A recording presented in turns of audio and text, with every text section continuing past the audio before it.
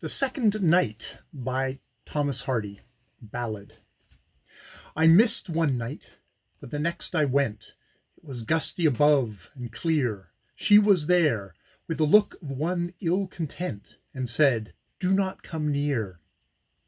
I am sorry last night to have failed you here, and now have I have travelled all day, and it's long rowing back to the West Hoe Pier, so brief must be my stay.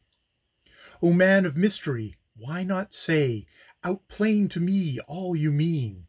Why you missed last night, and must now away, Is another has come between? O woman so mocking in mood and main, So be it, I replied, and if I am due at a differing scene Before the dark has died, 'Tis that, unresting, to wander wide, Has ever been my plight and at least I have met you at Cremyll side, if not last eve, tonight. You get rest, you get small rest, that I read quite, and so do I, maybe. Though there's a rest hid safe from sight, elsewhere awaiting me. A mad star crossed the sky to the sea, wasting in sparks as it streamed. And when I looked to where stood she, She had changed, much changed, it seemed. The sparks of the star in her pupils gleamed.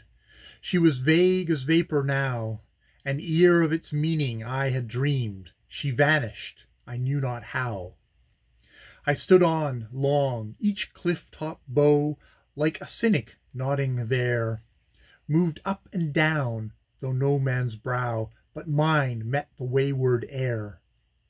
Still I stood, still stood I, wholly unaware Of what had come to pass, or had brought The secrets of my new fair To my old love, alas!